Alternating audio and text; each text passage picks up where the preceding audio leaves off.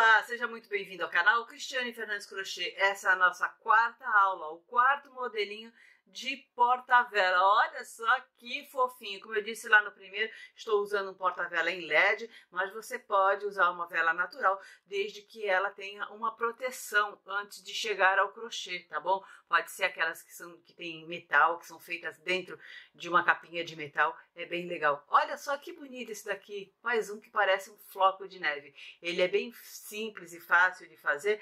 A listinha dos fios que podem ser usados já estão aqui do lado, então vamos embora para a nossa videoaula. Então vamos aqui ao nosso último modelinho porta-velas. Já vou deixar para você aqui no cantinho o padrãozinho que eu usei nesse daqui, super fácil, nós já fizemos antes, tá? Eu segui com um anel mágico com oito pontos e foi seguindo até a carreira de quatro pontos e um aumento, sendo que essa última carreira de quatro pontos e um aumento eu fiz usando a alcinha de trás, tá? Ao terminar aqui, no próximo ponto da próxima carreira, eu faço um ponto baixíssimo. E aqui eu vou fazer o seguinte: um, dois, três, três correntinhas no mesmo pontinho aqui de base, eu vou fazer dois pontos altos. Três correntinhas. Aqui eu vou contar um, dois, três, quatro, cinco, seis, sete. No oitavo ponto, pegando pela alcinha de trás, eu vou fazer três pontos altos.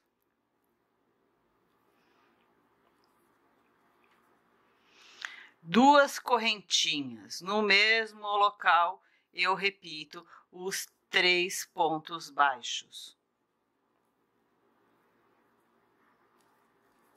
Faço agora três correntinhas e vou repetir a volta toda pulando uma, duas, três, quatro, cinco, seis, sete na oitava, no oitavo ponto, pela alcinha de trás, eu repito três pontos altos, duas correntinhas e três pontos altos. Vou repetir isso até o final da carreira.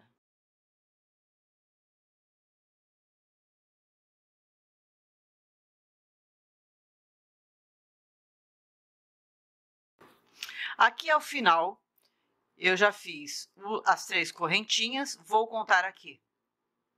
Um, dois, três, quatro, cinco, seis, sete. E lógico, a gente chega aqui no primeiro, na metade do primeiro motivo que a gente fez, né? No mesmo local, a gente vai fazer três pontos altos. A gente vai fechar o restante do motivo aqui, ó.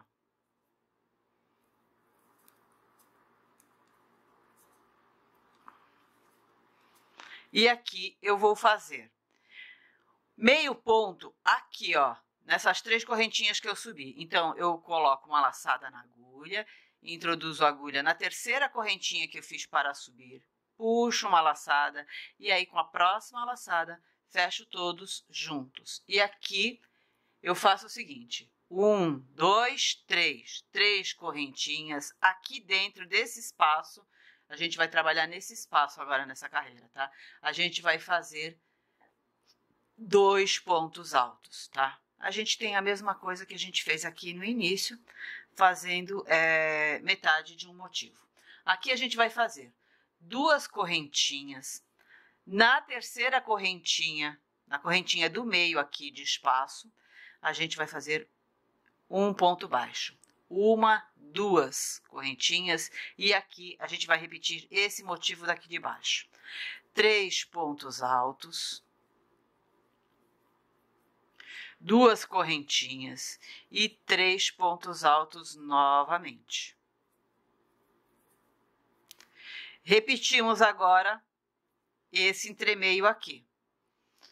Duas correntinhas, um ponto baixo, duas correntinhas, e aí a gente volta a fazer o motivo novamente. Nós vamos fazer isso até o final dessa carreira.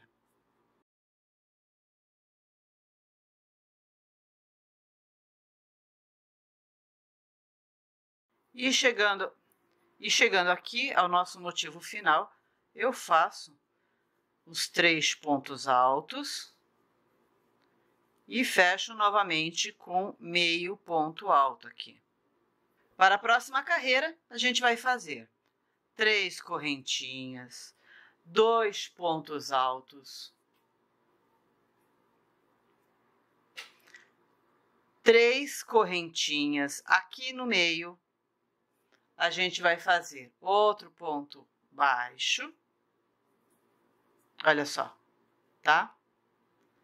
E agora a gente segue aqui com três correntinhas e repetimos o mesmo motivo aqui. Três pontos altos, porém agora a gente vai fazer um picô aqui, ó.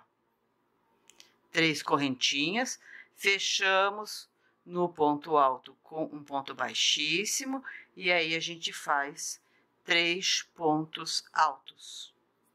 Bastante simples esse daqui, né?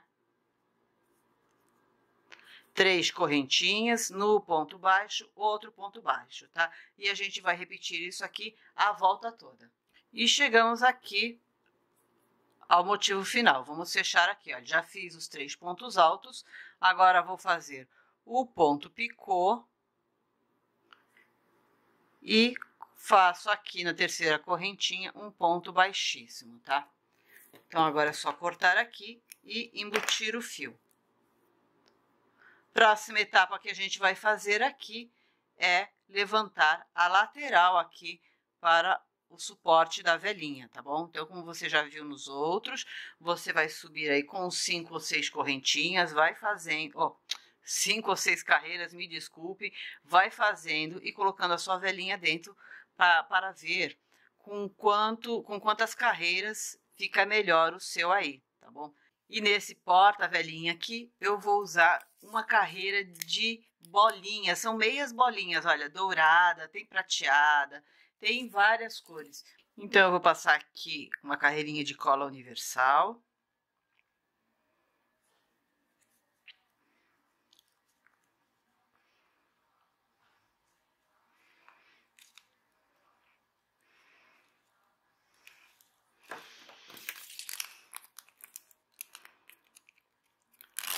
Vou destacar aqui uma carreirinha de bolinhas.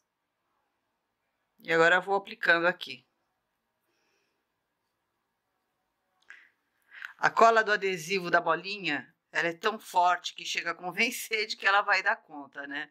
Talvez até dê, mas como eu tenho receio que venha a soltar, eu prefiro mesmo é, passar a cola embaixo, tá? Dá uma ajeitadinha aqui e está pronto. Nessa daqui, eu vou aproveitar e colar aqui na pontinha algumas bolinhas.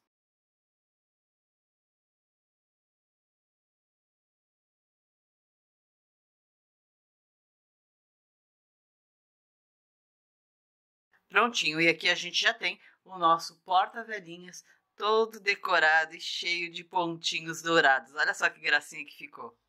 Você viu como esse daqui é bastante fácil também? Em todos eles eu usei a média de 7 a 10 gramas de fio, bem pouquinho, né, gente? Olha só, fizemos esses quatro modelinhos aqui. Deixa eu puxar mais para cá para caber todo mundo junto aqui.